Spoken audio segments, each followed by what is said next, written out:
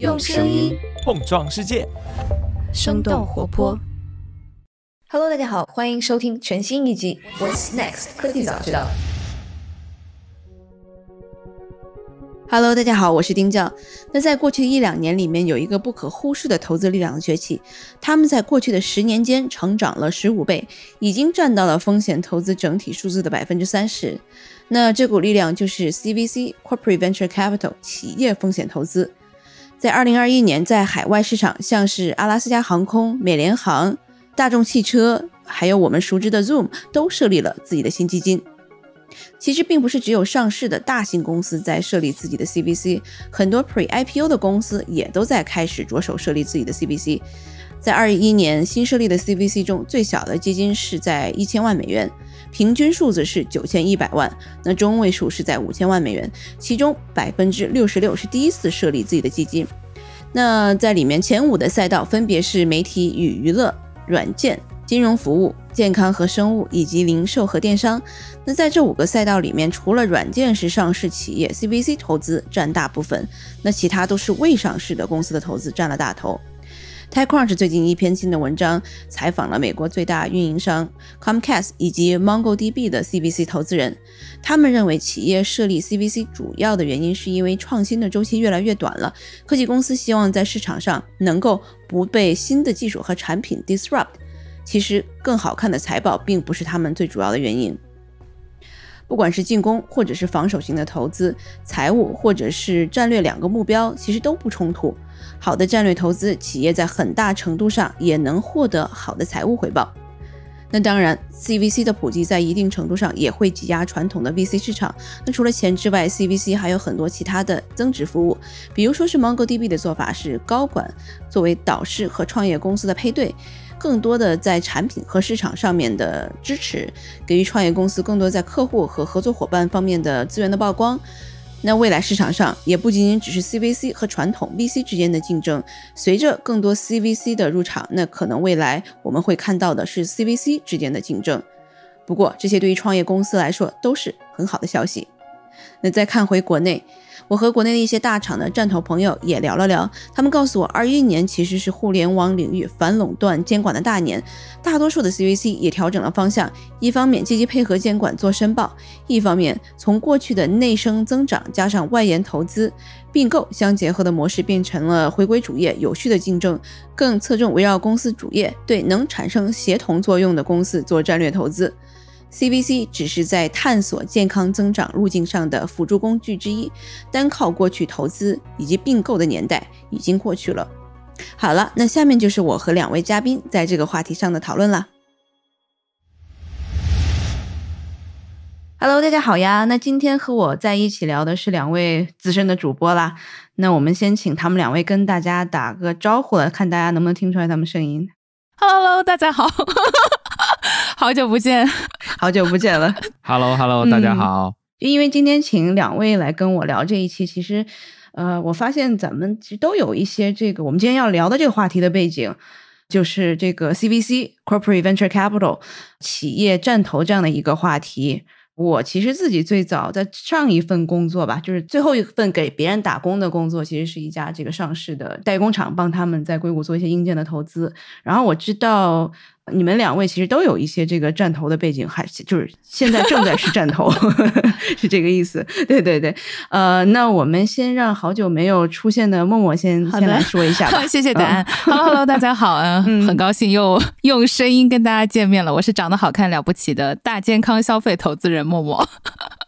对，然后默默其实现在是在一家新的企业，他换了你换了工作对吗？对我去年大概 Q 三的时候，其实换到了现在的这一份工作，然后也是一个从这个传统的财务投资机构，然后跳到一个 CVC 这样的一个转型。对，然后所以我现在其实会主要的去 focus 在整个大健康消费生态，就是消费级医疗和医疗级消费，以及他们的相关的上下游产业链的这个投资。刚刚那句话，我是消费级医疗和医疗级消费这两个有什么不一样吧？对，我觉得国内现在这个名词儿搞得非常 fancy 啊。对，其实呃很容易理解，就是现在国内的整个，特别是疫情后吧，我觉得不只是国内，就是全球都有一个趋势。大家知道现在 healthcare 是最火的一个话题嘛。然后，但是在 healthcare 里面，我们知道原来其实比较多的是投到两端，一类是可能是偏健康或者有健康概念一些消费品，比如说运动装，然后包括比如说一些减肥代餐，他们其实都属于这个健康消费的范畴。然后可能另外一端呢，就是真的很哈扣的这样的一些医疗器械，然后包括医药的一些投资。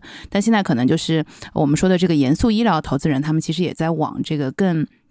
To C 的方向和更消费级的这样的产品去走，然后把他们的原来的这样的比较呃丰富的就是生产经验，然后以及这样的一些科研的背景，然后去复用到或者我们说降维打击到 这样的消费者级的应用里面去。对，因为现在其实是用户自己对于健康的这个 awareness 是越来越重了啊，所以我们觉得就是这个趋势是比较明显的。然后另外一端呢，就是原来可能我们很多的这个快消品，我们就举个例子吧，比如说我们说垃圾食品或者零食，大家其实都。都是会呃有一个概念是它其实不太健康的，但是从这个元气森林开始，我们会发现这个所有的这些快消品的健康化也是一个非常明显的一个趋势。对，所以两端都在往当中走，这就是我们现在在看的方向了。对，嗯，那我们这个再问一下 Richard，我记得你最早其实在美国的第一份工作也是一个 CBC 是吧？呃，先跟大家打个招呼啊，大家好，我是 Richard 啊，这终于又见面了，年后的第一次上麦啊，那个呃，其实是。呃，我们当时是在一家中国的这个上市企业在做出海。那么你知道那个时代，中国尤其是品牌出海，在海外做的最多的一件事情，其实是去看海外的品牌，去买买买并购。所以那个时候呢，我们在海外，其实我们整个 team 买过一个北美的一个品牌，然后也买过一个德国的一个品牌。所以这个整个的这个流程中间呢，其实是。踩了一遍，我们是 M A 部门，不是 C V C 啊。对对对，就其实也也也没有 M A 这种说法了。其实我们就是这个海外这个部门，我们这部门在海外既做这个产品，又有很多的这个跟海外的这种合作。然后 M A 我们也做过。其实我当时还是一新人嘛，所以就是比较好奇。记得当时那个我们这边呃老大给我们发了一个材料《并购之路》啊，让我们去学习。然后其实。当时同一时代有很多这种大型的中国的品牌，其实在海外都进行着这样的进程嘛。就比如说像这个吉利去收购沃尔沃啊，这个联想去收购这个 IBM 啊，当然他们的一部分的这个业务啊。所以其实当时有很多这样子同类型的企业。那么我们现在呢是在一家这个出海的 VC 嘛。那么我们是 VC 的角度，但是在出海这个行业里面呢，那么有很多的 CVC，尤其是在硅谷这一边。那么 CVC 的是非常重的一个角色了。那么从中国到海外，其实呃，尤其是在东南亚，我们发现大型的这种 CVC，就像阿里啊、腾讯啊、字节啊，他们的出手都非常猛了。呃，我一直跟我们的同行们说啊，我我一直觉得，其实对于早期的 VC 来说的话呢，在一个新兴国家去直接直投当地的企业，风险还是非常大的。那么这个风险呢，其实对于 CVC 来说的话，他们就能够通过他们的规模。和他们的整体的业务的集群给规避掉，所以呢，CVC 成为了出海中间非常重要的一支力量。这个也是我们不得不去深入研究啊，他们的动作、他们的这个趋势、他们的策略。所以呢，今天也特别开心能跟大家一块儿去聊一聊这个话题啊。你们比如说是如果看一个项目的话，然后如果 CVC 投的话，你们跟着这个近一点，你是觉得是是更安全吗？还是怎么样？这个得分情况讨论。我我们看，其实，在上一个时代出海里面，呃，非常多的这种东南亚的项目、印度的项目，其实大量存在着这种 CVC 在前面开路啊。我们讲这个出海船阵前面是航空母舰在开路，或者说不光是 CVC 了，其实在这个行业里面，很多时候是这个公司直接直投啊，或者说是。他的业务部门直接就会有一些这个相应的这个行为啊。我记得我第一次我在印尼有有一次遇到了一个咱们国家非常大的一个互联网企业，我就不说是谁了啊，是是某一个动物厂的。见到他了以后，我说的那个，那你你们投资那咱们换个名片吧。结果一看，他是一市场部的。然后我心说，我说市场部的怎么也出来看项目？他们说呢，我我们这个是不同的部门都会出来一块儿来看项目，所以可能在很多时候严格意义上不是 CVC，很多时候呢其实就是。这种大企业，它根据它的业务的需要，它发展的需要，策略的需要，它进行的这种买买买的行为，不管是投资还是并购啊，whatever 都可以。那么这个行为呢，其实在海外有很大的程度上面是这个做开路先锋了。我们刚才讲，所以在海外其实还是一个挺重要的一个行为，就是大家如果看到呃有巨头去投了这个方向的企业，或者说是这个赛道的话呢，大家还是比较安心的。那么在中国呢，可能就得分另外一个情况，那就是说，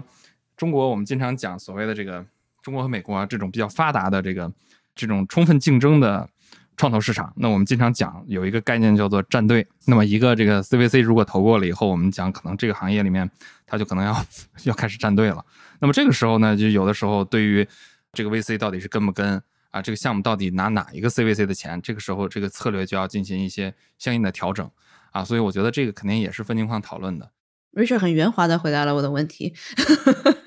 对，所以就想聊这一次的话题，也是因为 Richard 在前几个月吧写了一篇文章，然后专门是讲硅谷这边的一些 CVC，然后从这个呃微软收购 Activision。暴雪，然后包括其实当时也是在国内字节跳动，然后他们把这个战投部门然后解散了这个新闻也出来了。对，其实就一个时间节点的，好像很多的这个不同的 CVC，大家的这个策略啊，或者他的未来的这个计划都是好像挺不一样的。然后包括我其实是在。上一个星期吧，然后看了 CB Insight，然后出的一个报告，其实整个在二一年的 VC 市场的这个投资数据，这个整体啊是六千两百一十亿，然后比二零年是增加了百分之一百一十一，这个数字还是蛮高的。但这个 CBC 啊，这个就是战投的这样的一个资金，其实在里面就占了百分之二十七，然后这个金额是比二零年增长了百分之一百四十二。就是增长了非常非常的多，然后特别是这种叫做 mega round，mega round 就是在这个一亿以上的这样的投资的这样的金额，占了整个交易数额的百分之十，啊，就是交易数额是占了百分之十，但是这个资金的这个量是占了百分之六十二，就等于说这个大厂他们在投的交易不是特别的多，但是他们投的这个金额都是特别特别的大，对，所以他们其实是就成为了这样的一个不可忽视的在呃 VC 行业的这样一股力量。对，所以其实是想从这个角度来跟大家来聊一下，这个不管是在海外，还是在国内，我们现在处在一个什么情况？包括可能现在我们经济感觉是在往下走了，然后 CVC 就是怎么样的一个未来的这样的一个计划？那我觉得可能先让默默介绍一下国内的这个 CVC 是处在一个什么样的这个情况吧。正好就写也回应一下刚刚答案讲的这个现象，就是为什么我们发现这两年好像 CVC 感觉在这个市场当中的这个活跃程度受到了关注，或者是为什么我们感觉 CVC 这两年在这个市场上的这个参与的比例变得越来越高了？我觉得本质上还是因为本身风险投资它就是给风险去做定价嘛。那其实在这个外部市场。波动比较大，或者是我们在觉得有很多的不确定性，或者是相对这个市场的情绪比较悲观的这个大前提下呢，那实际上可能 CBC 它从产业的背景来说，它是更容易去这个拨开市场的外部波动的重重迷雾，然后去给到更怎么讲？因为他们的信息量会更多，所以它其实是更容易去做风控的这一个动作的。那所以在这个时候，就是呃，大家开玩笑说，因为可能。很多的这个 VC 都还在观望，但是很多的这个 CVC 可能都已经看明白了，所以他会倾向于在这个时间点去市场上找到一些相对价值会比较低估的这样的标的的机会是比较多的。那所以我觉得可能呃在此之前，其实 CVC 们都已经在这个行业上观望了。比较长的时间了，然后只是找到了一个特别好的一个出手时机，对，然后所以我们看这两年的话，就一个是会觉得他们相对来说比较活跃，然后一个是可能我们觉得为什么他会敢于去出手一些相对这个金额比较大，然后阶段比较成熟的项目。也是因为，就是对于这一些就是还没有完全 safe，还需要依靠持续融资去发展的，但是相对比较后期的项目来说呢，其实这个时候他们自己的外部竞争的环境也变得更简单了。因为在这个 融资市场不是特别乐观的情况下，有很多早期的，就是我们说就是可能，比如说呃混战的这样的一些市场，然后都用一个比较快速的一个速度回到了一个比较冷静的一个阶段，然后相对来说头部项目就会格外的突出。那对于这一些这个 corporate 来说，其实。实也是一个比较好的一个投资时机，这个时候的确是一个性价比比较 比较高的一一个 时间点。对，我觉得刚才默默说的很好啊。其实我们看 CVC，其实最强调的是两点，这个中美都是一样的。第一点呢，那就是说呢，在业务上面他们有很深的认知，本身在一个业务生态里面的。那么整个的这个虽然海外不兴讲这个生态啊，因为有这个反垄断法，我们一会儿会讲到这个反垄断法。但是事实上就是他对于整个产业，他肯定是上上下下都是非常了解的。那么这是对于生态的理解，造成了他先天就有优势。另外，另外一个巨大的不能不说的优势就是 CVC 往往是造血能力非常强的，他们有这个 C 在背后顶着，都不差钱。那么这个天然的跟 VC 是不一样的。但是呢，这几年呢，其实我们看到中国和美国呢，其实在模式上面，就我我们单讲 CVC 的模式，其实也发生了很多的演变。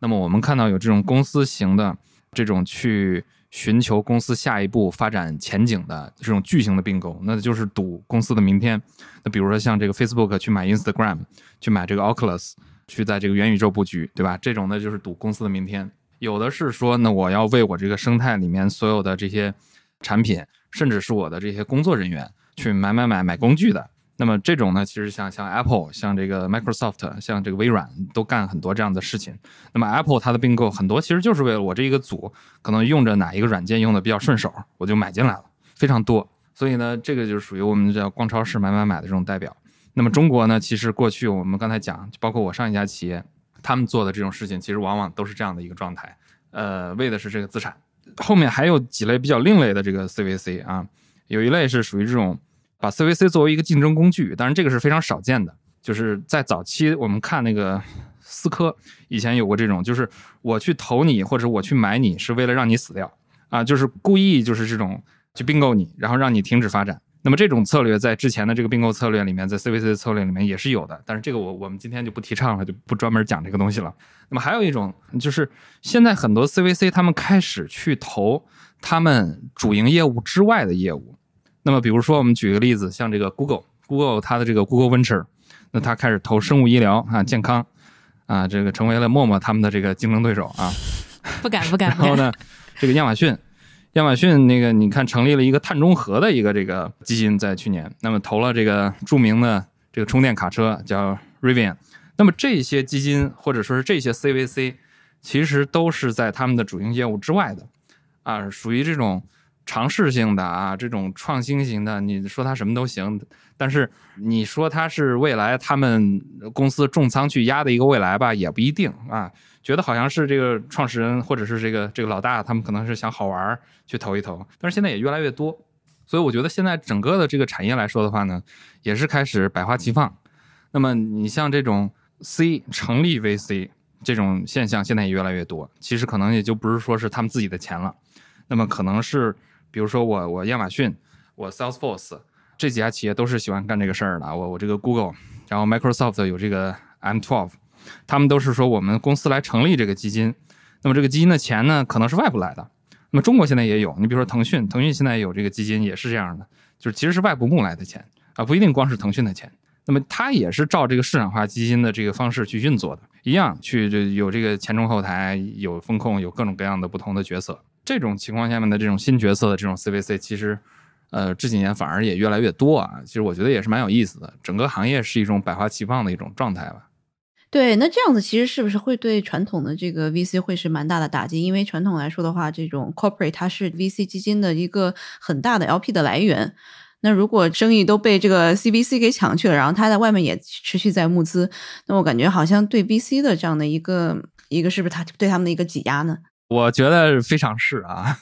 因为大家你看你刚开篇的时候讲到了这个 CVC 投的很多，其实都是 mega round 比较大的这种轮次。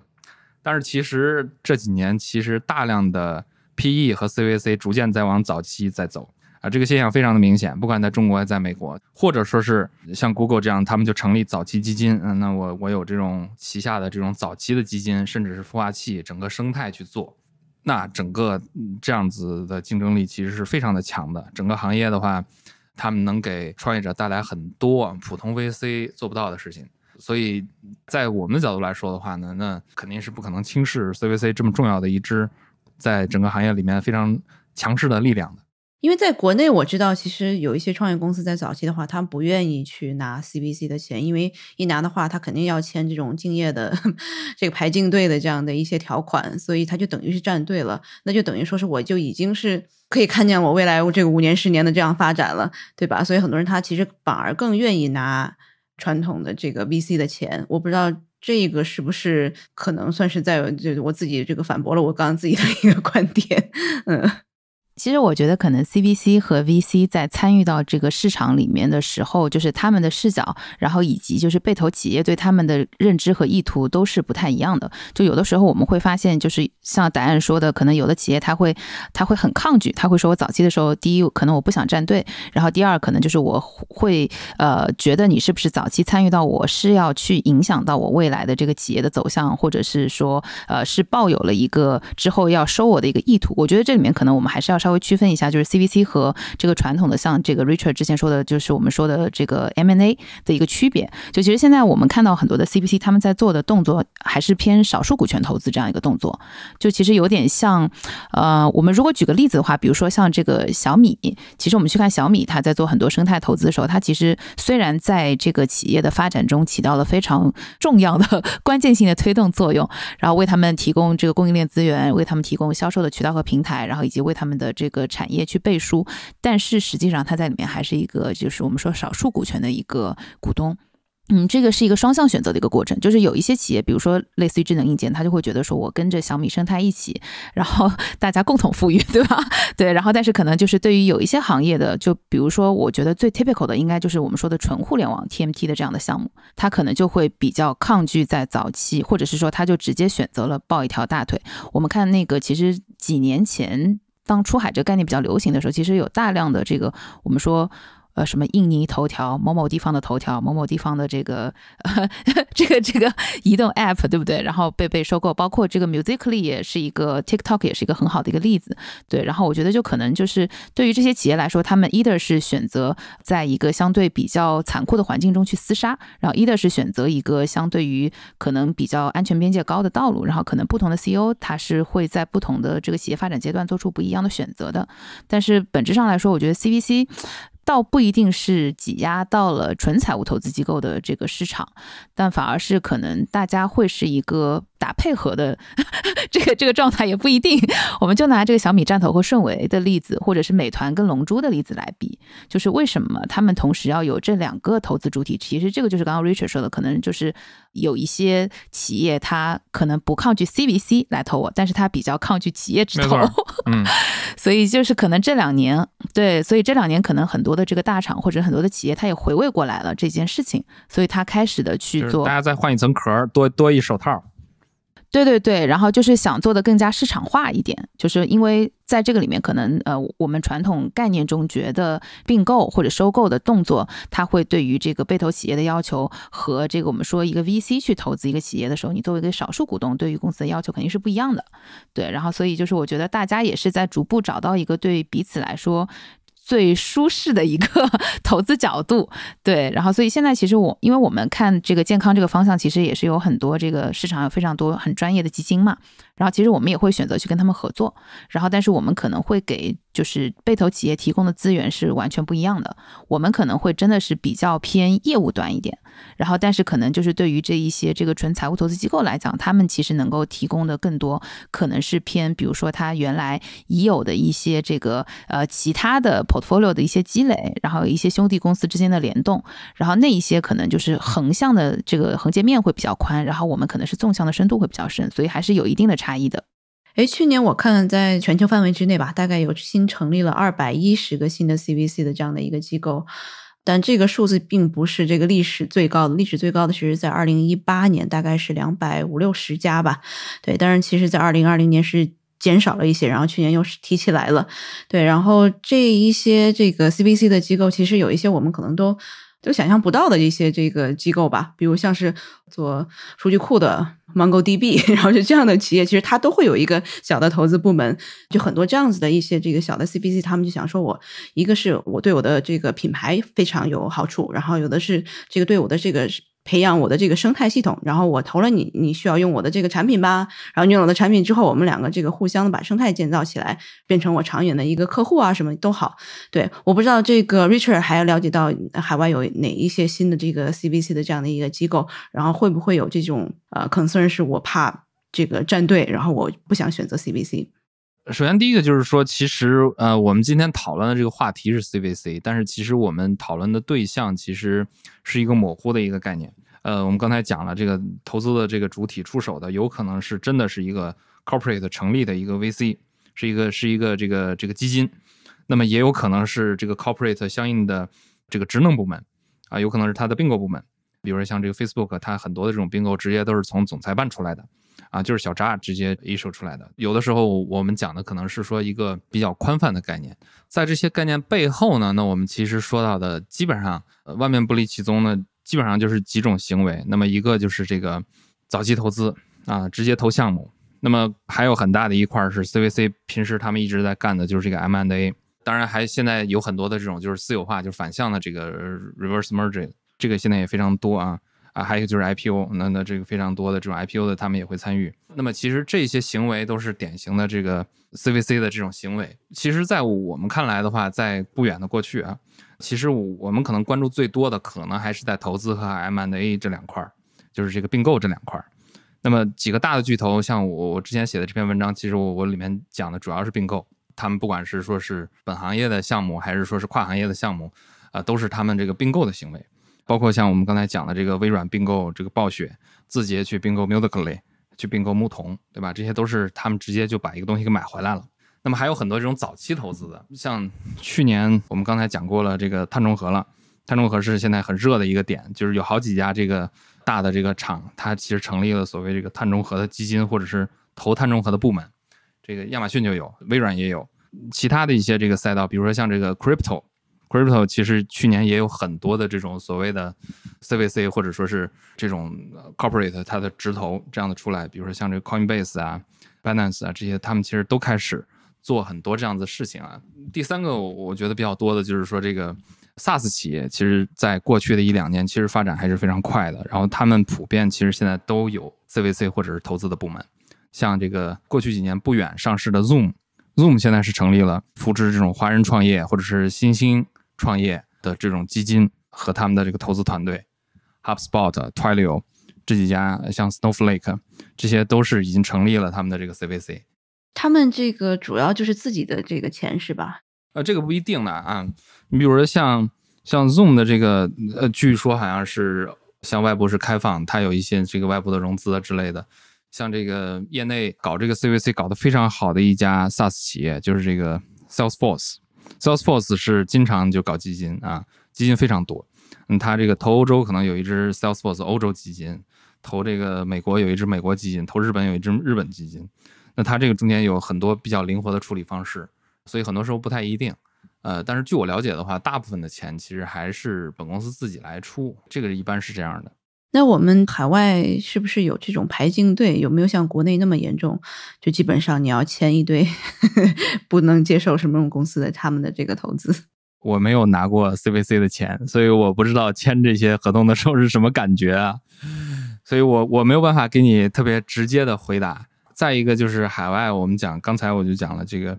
海外其实 CVC 出手比较多的还是在并购上面。那并购上面就没什么可说的，那就是直接就买回来了嘛。但是在早期投资来说的话呢，我想即便是说没有排进队这样子的条款啊，但是在很多时候，其实呃，竞争对手还是会考虑他的这个初次背景啊，很多时候会有这种生态或者是拉帮结派的这种想法吧，潜在还是会有一些啊，这个也没法避免。这个慢慢就发现，它其实还有这种 LP 这个 CBC 化，嗯，我不知道这个国内和国外是不是这样的这个趋势都是一样的，就慢慢大家好像都是自己投起来更加顺手一点，或者是自己在自己战略上面可能契合度也更高，呃，反而对我可能把钱然后给到外部的这个基金，然后我自己做 LP。三五年我也不参与到 GP 的管理的话，我其实是掌控性更低，所以慢慢的这个大家觉得，那我还不如自己成立基金自己做。我不知道大家观察是不是这样子的。首先我想说啊，其实这个里面有一个辩证的一个东西啊，就是说，其实我们讲说 CVC 或者说是 Corporate 的 LP 化，这个东西有的时候你要区分到底是公司出钱还是创始人出钱，这是两个不同的概念。就是其实我们在行业里面经常会看到，你比如说比尔盖茨出钱，对吧？但是比尔盖茨出钱真不一定意味着说是 Microsoft 出钱，这是两个不同的概念。只不过我们在拿钱的时候呢，往往就是说会倾向于呃有的时候把他们混为一谈一起来说。但是其实，在海外的话，这个是完全不同的两个概念，就是创始人出钱或者说是公司出钱，这是完全不同的两个概念。在成为 LP 的这个身份上面来说的话呢。呃，创始人和高管出钱这个行为是非常普遍的，他们投很多的基金，这个是非常普遍，不管在中国还是在美国都很多。但是在有的时候呢，就又有另外一种情况，就是说你这个个体拿了这个钱了以后呢，那他会反向的去影响啊这个基金的 reputation。那么有的时候它也会有一些影响，所以这种情况有的时候就比较复杂。那么就我直接看到的这种公司直接出钱啊投资外部基金的这种行为呢，其实现在可能越来越少了。我其实想说还好，就是从我的视角看来的话，我觉得其实它不完全冲突。就首先，不管他是要做 LP，还是他自己去成立投资部门也好，还是他去做了一个 CVC，本质上就是他已经动了想要去对外投资布局的这个念头了。只是他可能会选择不同的这个操作方式，因为这个里面我们可能还要关注到，就是这个公司的 owner 或者是就是他的这个决策层是否除了这个招聘了员工进来以外，他自己还要做这个基金的 GP，就是也是也就是说他对于这个。基金的投资决策是否具有影响力？就是他只是出了钱，还是说他是真的把这个事情拔到了，就是跟我们公司企业未来发呃相当长一段时间的发展的一个同样的这个战略的这个高度？对我觉得这个都会对于最后的产出有比较大的影响。我们现在看到去年其实大家看到很多很有意思的新闻，比如说钟闪闪老爷爷他自己也去考了那个 基金从业资格证，对，然后大家当时就在想说，为什么他没有选择去做 LP？为什么自己要去考这个，对吧？然后包括我们看到很多的这个大佬，他其实。一直都有自己在去让自己的这个基金，比如刚刚我们提到的，像这个雷军的顺为，对他其实应该也是顺为的这个 GP 嘛，对，所以就是我觉得可能，呃，像 Richard 刚刚说的，就是个人和公司，首先他可能这个行为和这个预期是不太一样的。然后呃，如果我们是说到这个公司层面来讲的话，通常哪怕是要做对外投资这个动作，大家也有可能啊，大概率都是这个做 LP 和直投会呃 结合在一起的，这个就有点像。之前我们看到很多的 FOF，就很多的母基金，其实也同时在做这个 LP 和直投的动作。其实总结来说，都是提高他们的这个叫什么综合的这个回报率。对，其实，在硅谷这边，我了解到的，如果是可能基金，我在分配投一些可能其他的基金，它的主要的就是想找一个它的接触到项目的更大的这样的一个渠道，或者是这种跨境的，就我可能在你们这个市场，我没有我更好的一些获取项目的渠道，我先投你一点，然后我慢慢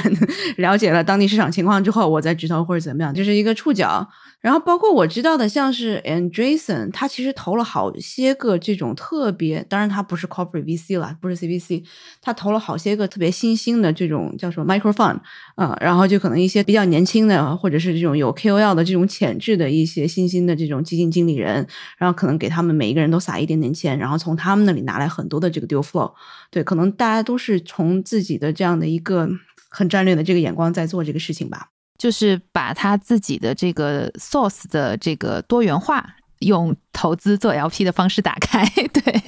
对对对对对。但是我发现可能就是前两年确实这样的多一些，然后这两年更加像是哦，我了解了这个市场了，然后我知道怎么投了，我其实就没必要了，自己钱自己投，或者或者是这个我放在自己公司里面投，其实是可能更好的一个选择。但我觉得另外一点可能是我在当时其实接触蛮多的，比如跟硬件相关的这样的一些这个大厂，他们的一些战投部门，其实基本上可能刚。跟这这个 Richard 最早说的一样，我得先去跟他们的业务部门得先聊清楚了，然后他们业务对这个方向有没有兴趣，然后有没有可能产生合作，然后他们的这个战斗才进来 再投。我不知道默默是不是现在也是这样子的。就可能还我们这边比较特殊，因为我们其实现在目前还是比较 focus 在早期少数股权投资的，所以我们不会在这个跟我们的强协同上有非常硬性的要求，但是我们是会怎么讲，就是在他们有需要的时候会伸出援手，就是在确实，比如说在某一些这个产业资源，比如说随便说说举例子啊，供应链呐，然后包括比如说研发呀，然后包括就是可能是销售渠道上，比如说我们真的是相对于这些早期创业公司有非常明显的优势，而且能够。确实有协同作用的，那这个时候其实他也会倾向于拿我们的钱，因为他们会觉得拿我们的钱是有附加值的，而且又不用额外的作价，对，然后所以就每个企业可能情况不太一样。对，因为像比如说，呃，之前有一些互联网大厂，我们都知道他们的这个 corporate VC 在外面可能也非常的活跃，投了很多的早期项目，然后到最后投完，发现跟自己内部是有竞争的，可能我 BU 要孵化个什么新项目，然后两边还会 反而有一些冲突。对，然后所以我觉得可能 每一个个每一个企业的这个情况是不太一样的。对，嗯。就反正现在大体来看的话，我觉得并购的角度，就是 M&A 这个角度的话，那么还是说是可能以协同这个业务拓展啊、续命啊这种角度可能为主。那么在投资角度，其实我现在也非常赞同默默的，就是其实我们现在看起来也是越来越多的 CVC，其实呃比较灵活，也比较友好，其实他们投什么都可以。这个我我们跟 CVC 交流的时候，他们觉得并不是说非得要限制在我们母公司的母业务上面、主营业务上面，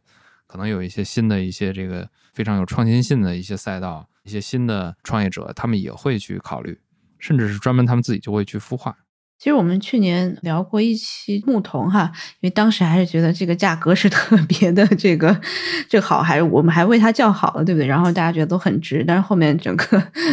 他们的战投部门被解散了，然后就是因为他们近些年的这个业绩不是特别的好。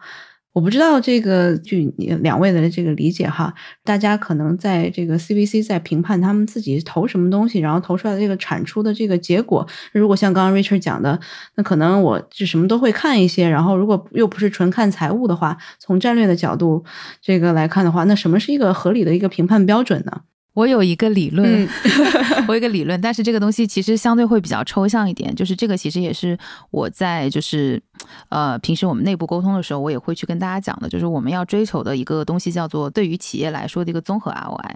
抽象一点来说的话，就是这个企业的一个企业价值的一个提升。那这个企业价值包含了，就是一个是短期我们可能看到的可能业绩的增长，对吧？那长期的话，可能是一些比如说它的无形资产的增加，然后它的核心竞争力和它的竞争壁垒的叠加，然后或者是就是我一直跟大家讲说，可能财务投资回报对我们来说是只是这个当中的一个组成部分。就是对于就是市场化的 VC 机构来说，其实它最关注的就是它的财务投资回报。但是对于我们来说，可能我们会更关注的是说，首先。因为皮之不存，毛将焉附，对吧？就其实我们是属于一个 corporate 的 VC，那对于我们来说，最重要的第一是希望这一个厂，就是这个公司，它能够长远的走下去，它能够成为一个百年老店。那在这个的基础之上，我们所做的这样的一些这个投资才会是有价值的。我觉得可能就是会有一种很完美的情况，是像这个 Facebook 它现在在做的，它可能就是直接赌自己的一个非常不一样的位未来，然后最后赌成功了。我觉得这也是一个会是一个很华丽的一个 case。对，但是对于大多数的这个企业来讲，特别是其实我们刚刚前面没有提到，是说除了互联网企业以外，在这个市场上参与度很高的还有很多的是我们所谓的传统企业。或者我们说的是实业，它其实不是互联网企业，其实他们一直也都在做这样的一些投资动作。那对于这样的一些实业企业来说，更加是这样，因为它的这个业务的连续性和就是稳定性会相对来说更高一点。那么它一定是围绕着它的主营业务，然后去做外延的投资。所以对他来说，最重要的第一点是保证我的这个主营业务的竞争力。的持续，然后保证我的这个企业的生命力能够就是这个欣欣向荣吧，对，然后所以就是可能我们会去考虑的真的是这个所谓的综合 ROI，然后但是因为 CBC 如果要去做外部的这个 LP 的募资的话呢，就是财务投资回报一定也是重要的，那所以我觉得就是这个两个其实是相辅相成的，就如果说我们的企业本身的业务做得很好的话，那它一定也可以有更好的一个造血能力和输血能力给到被投企业。那所以我觉得这个可能两者都是非常重要的。那我们说一下这个可能大家都在面临的一个问题，不管是国内还是国外，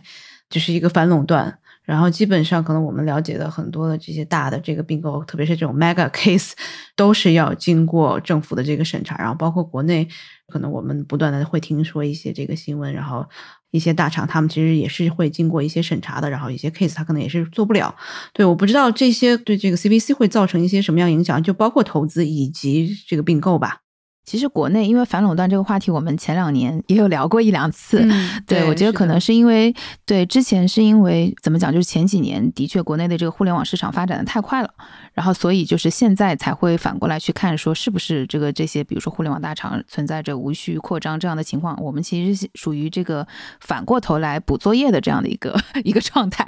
对，那这个事情本身对于市场的我们说创业公司也好，或者是对于早期公司。来讲也好，一定是一件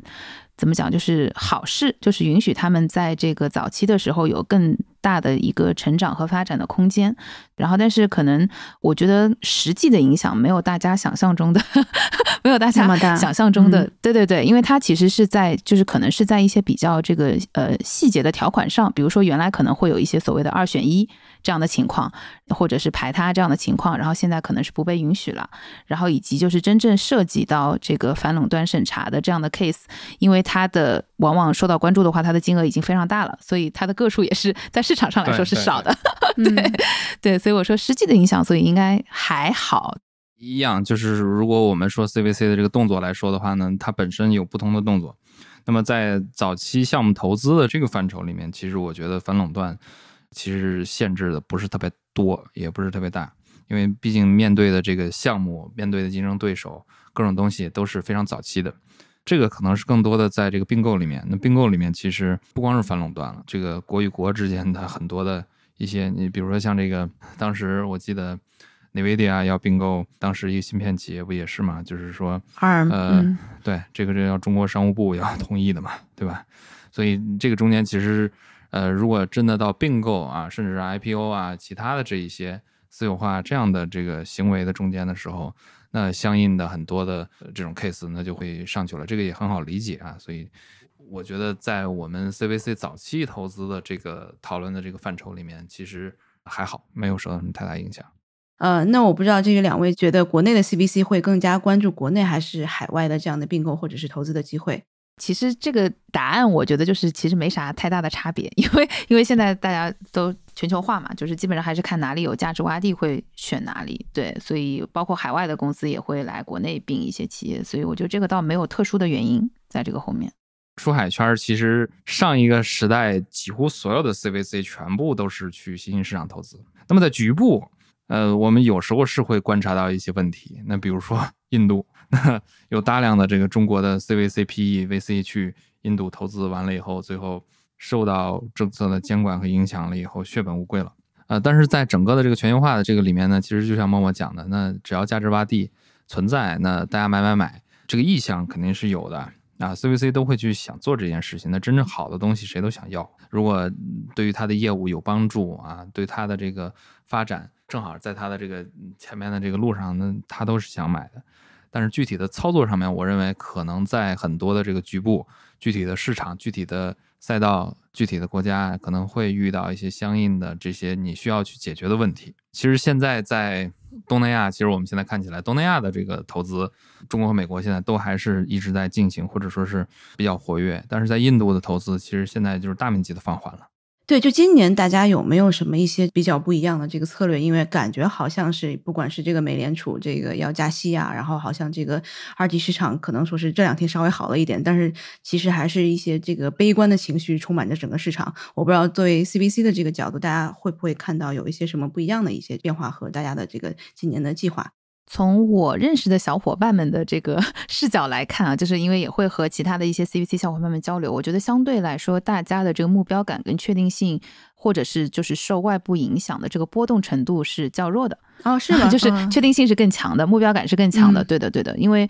就可能因为就像前面说，主营业务总归是要做的，嗯 然后所以这个投资行为本身可能是集团战略，然后或者是未来的这个发展的一个比较重要的一个杠杆嘛。然后所以就是可能。大家在这个投资行为上其实没有受到太大的影响，但是因为本身我们是在一个这个开放的市场上，所以就是其实我们的合作方和我们的对手方包含了这个市场化的 VC，那就是所以外部的其他机构的这个就是他们的投资信心和投资动作的变化，其实会影响我们的投资成本，然后或者会影响我们的交易的这个进度也好，或者是交易的这个结构也好，对，所以我觉得某种意义上是受到影响的，但是从这个实际的操作的层面上来讲的话，大家的确定性还是相对会强一些，这是我的体感。就是感觉是在细节上面可能会有一些影响，但是可能在我我需要投什么企业，然后我是要往什么方向在看，然后这个其实是大面上是没有太大的影响的。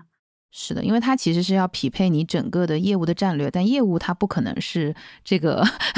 隔一天就换一个新的方向。其实，所以这这个是我就是感受特别明显的，就是如果大家呃比较关注这个一级市场的话，应该知道，就是前几年我们说有过好几波风口，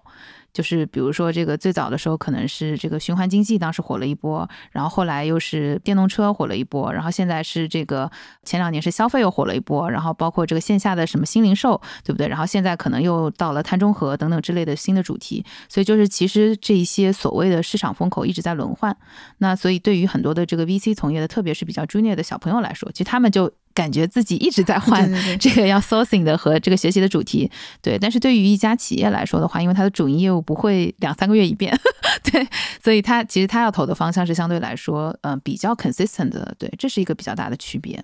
但会不会有一些 concern，就是说我，比如说是我是从我的这个 balance sheet 上面在做投资的，对我其实就觉得，那我可能如果在风险比较大的情况下面，我们可能会留更多的这个资金在我们内部的这个发展，或者在这个主营业务运营上面，可能就不会那么多的去在做投资了，会有这样的 concern 吗？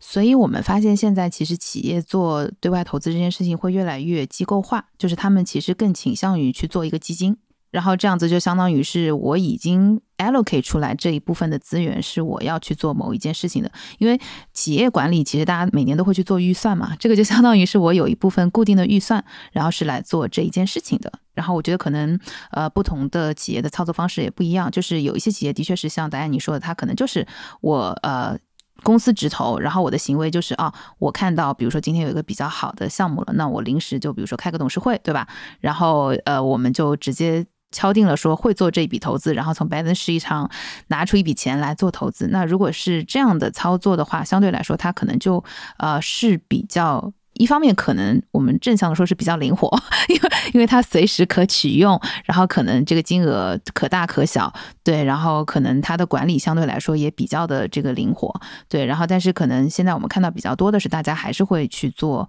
呃少量的对外募资，然后用机构化管理这样的方式来想把这件事情做的就是更市场化一点。瑞士这边呢有没有看到，比如说是像海外的一些这个 CVC 在趋势上面变化？提供另外一个视角，其实我刚才这个默默讲了一级市场，那我来讲讲二级市场。虽然我不是一个二级市场从业者啊，但是我们能看到，其实二级市场在过去的疫情中间，其实有不少的企业还是受到了很大的这个打击。巴菲特不是有一句话吗？这个所谓的这个叫做这个别人恐惧的时候我贪婪，别人贪婪时候我恐惧。那其实，在这个并购的这个角度来说，这句话也是非常适用的。那么我们在呃过去的一年，因为现在最多能拿到过去一年的数据。那么我们看过去一年，二零二一年几家美国头部的科技企业的并购的，就是收购的这个出手，其实是在变多的。尤其是微软收购暴雪，其实微软在二零二一年出手是多于它的一九年和二零年的这个表现的。二零年微软进行了九家收购，二零二一年呢，整个进行了十四家。这个加上二二年初啊，这个暴雪算上这样子的话，其实它比就是苹果啊、亚马逊这些企业加起来还多。那么背后就是说明什么呢？那还是第一，就是对于这些头部的科技企业，它造血能力真的非常的强，它的现金流非常的好。那么在市场一旦不好的时候，那么潜在的其实对于 IPO、对于并购这个市场都有相应的这个正与负的影响。那么一旦呃这种机会到的时候，那么手握大把钞票的这一批比较有钱的 CVC 呢，他们就可以大展手脚，对吧？所以这个也是一个我们不得不考量的一个具体的一个现象。对，我记得好像在二零二零年我们做过一期节目，我忘了是谁了。然后就当时就是说，这个也是因为市场不好，所以的这个很多公司它的这个估值会比较低嘛。可能大家就会在买买买，这样情绪就会比较高涨，对，因为其实大企业他们这个现金的储备还是蛮多的，对，所以可能我们是不是又到了这样的一个时间节，就感觉好像我们怎么老是在下行的经济啊？好了，那我们今天差不多就讨论到这里喽，谢谢两位今天过来跟我们一起来聊天喽。好，谢谢，谢谢，谢谢，拜拜，拜拜。这期 What's Next 科技早知道就到这里了。听完之后，如果你有任何的想法，欢迎在评论区里面给我们留言，我们每一条都会认真的看。如果你喜欢我们的节目，请记得给我们五星或者好评，分享给更多的朋友，也会对我们非常有帮助。你也可以单独写邮件给我，邮箱地址是听 t i n g at 声点 fm，我都会一一回复。那同时，公众号和微博也可以搜索“生动活泼”，声是声音的声。节目相关的更多信息会在公众号里出现，微博和公众号都会有不定期的福利给到大家。如果你想要跟我们更加紧密的讨论和分享，或者是想要认识和你一样有求知欲的新朋友，可以加入我们的微信群。进入听众群的方法是在公众号文章中扫码添加，或者是公众号后台回复“科技早知道”即可获取邀请码。期待你的加入，我们下期见。